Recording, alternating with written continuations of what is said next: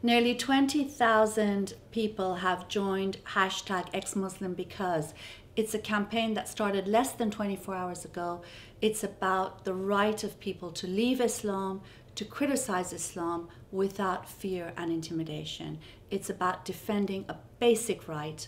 It's not about anti Muslim bigotry. It's about the fact that people should be able to do and live as they choose. Join this campaign. Tell us why you've left.